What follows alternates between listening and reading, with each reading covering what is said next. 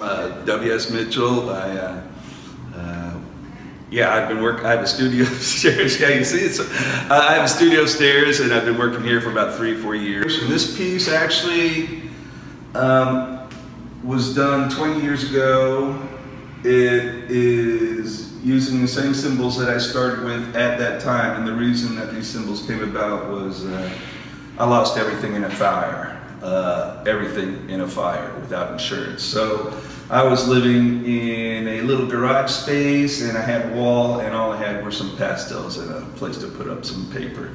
Uh, so I got that out of my system and and that leads to the other parts of these, which is a continuation of the, the house is also uh, a religious symbol, but it's also an identity trying to find a home, uh, loss of home, loss of identity. There's a lot more involved in that. But yeah, that's where that came from.